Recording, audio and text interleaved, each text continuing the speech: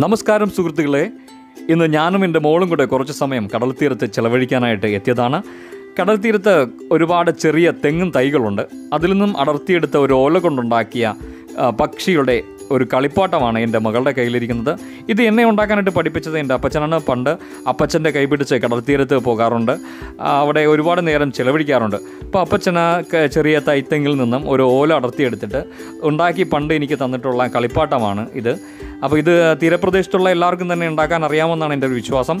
പുതിയ തലമുറയ്ക്ക് എത്രത്തോളം അറിയാമെന്നുള്ള കാര്യത്തിൽ സംശയമുണ്ട്.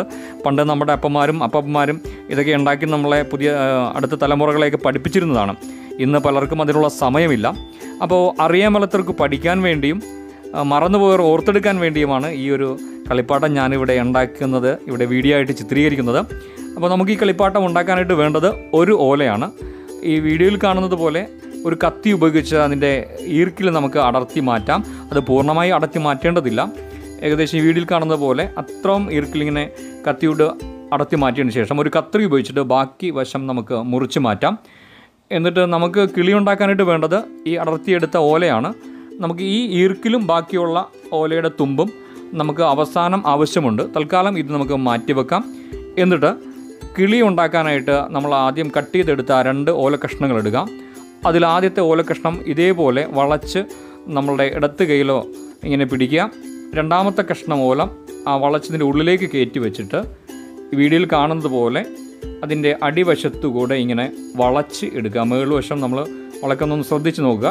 അതേപോലെ ഇങ്ങനെ വളച്ചെടുത്തിട്ട് നമ്മൾ ആദ്യം പിടിച്ച കൈ ഒന്ന് ലൂസ് ചെയ്ത് ഇങ്ങനെ രണ്ട് ചേർത്ത് പിടിക്കുക. അതിനുശേഷം ആ വളഞ്ഞിരിക്കുന്ന ഉള്ളിലൂടെ ഇങ്ങനെ കയറ്റിയിട്ട് രണ്ട് തലയും ഒന്ന് വള വലിച്ചു പിടിക്കുമ്പോഴേക്കും ഇതേപോലെ ഒന്ന് ടൈറ്റ് ചെയ്യുമ്പോഴേക്കും ഏകദേശം ഈ രൂപത്തിൽ കിട്ടും. അപ്പോൾ ലൂസായി കിടക്കുന്ന ഓല കഷ്ണം നമ്മളൊന്ന് ടൈറ്റ് ചെയ്യണമെങ്കിൽ നല്ലൊരു രീതിയിൽ ഏകദേശം ഈ ഷേപ്പിൽ കിട്ടും. ഇനി നമ്മൾ ചെയ്യേണ്ടത് ഇതെടുത്ത് നോക്കുമ്പോൾ കാണാം. ഒരു ഓലയുടെ തുമ്പ് നന്നായിട്ട് ടൈറ്റായിട്ടിരിക്കും.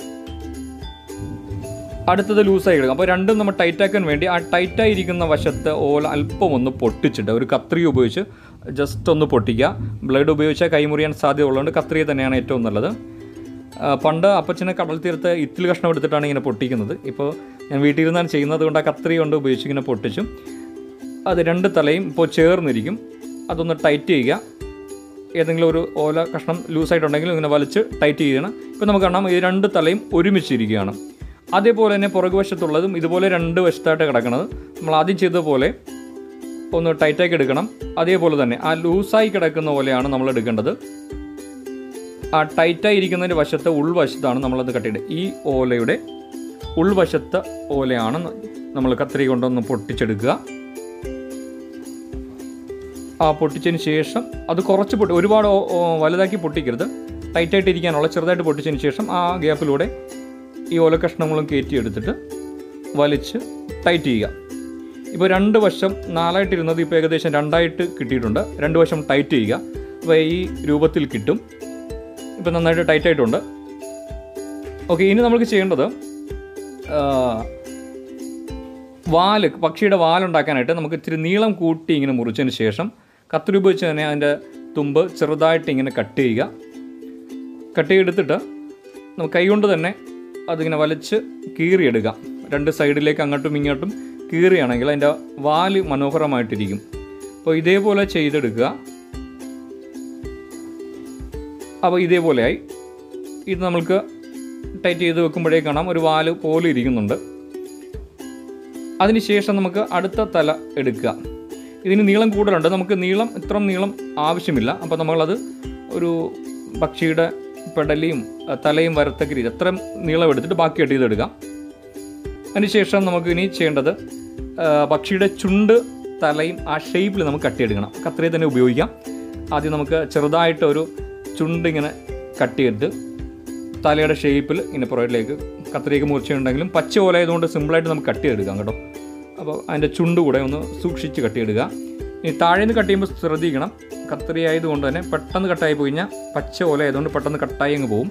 അപ്പോൾ കുറച്ച് കട്ട് ചെയ്തിട്ട് ബാക്കി നമുക്ക് കൈകൊണ്ട് അടർത്തിയെടുക്കാം ബാക്കി ആ ഷേപ്പ് ഒന്നുകൂടെ വരുത്താൻ വേണ്ടി ഞാൻ അല്പം കൂടെ കട്ട് ചെയ്യുന്നുണ്ട്. ഓക്കെ ഇപ്പോൾ ഏകദേശം നമ്മുടെ കിളിയുടെ രൂപമായി തലയായി അതിന്റെ ഉടലായി വാലുമായി അപ്പോൾ ഏകദേശം കിളിയുടെ പ്രവർത്തനം കഴിഞ്ഞു. ഇനി നമ്മൾ ആദ്യം മാറ്റി വെച്ച ഈർക്കിലും അതിന്റെ ഓലയുടെ തുമ്പും എടുക്കുക. എന്നിട്ട് ആ താഴെ കാണുന്ന ഗ്യാപ്പിലൂടെ നമുക്ക് ആ സാവധാനം ആ ഓല ഒന്ന് പൊട്ടിച്ച് ഒന്ന് വലിച്ച് മുകളിലേക്ക് എടുക്കുമ്പോൾ വീടിൽ കാണുന്നത് പോലെ ഇപ്പോൾ നമുക്ക് കാണാം. നമ്മളുടെ കിളി റെഡിയായി കഴിഞ്ഞു. ഇപ്പോൾ ഒരു കമ്പിൽ ഇരിക്കുന്ന രീതിയിൽ നമുക്ക് ഈ കളിപ്പാട്ടം റെഡിയായി നമ്മുടെ കയ്യിൽ കിട്ടിയിട്ടുണ്ട്.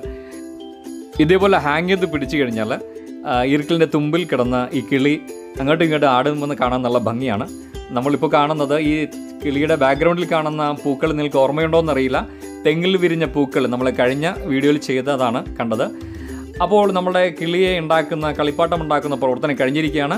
അപ്പോൾ നമ്മൾ ബീച്ചിലേക്ക് പോകുമ്പോൾ പ്രത്യേകിച്ച് ബീച്ചിലേക്ക് പോകുമ്പോൾ ഒരുപാട് പൈസ മുടക്കി കുട്ടികൾക്ക് കളിപ്പാട്ടം മേടിച്ചു കൊടുക്കുന്നതിന് പകരം ഇതേപോലെ നമ്മൾക്കും സിമ്പിളായിട്ട് ഇതുപോലെ കളിപ്പാട്ടങ്ങൾ ഉണ്ടാക്കി നമ്മുടെ മക്കൾക്ക് കൊടുക്കാം. വീഡിയോ കണ്ട് ഇഷ്ടപ്പെട്ടവർ ലൈക്ക് ചെയ്യുക ഷെയർ ചെയ്യുക സബ്സ്ക്രൈബ് ചെയ്ത് ഞങ്ങളെ പ്രോത്സാഹിപ്പിക്കുക. അപ്പോൾ വീണ്ടും കാണാം. താങ്ക്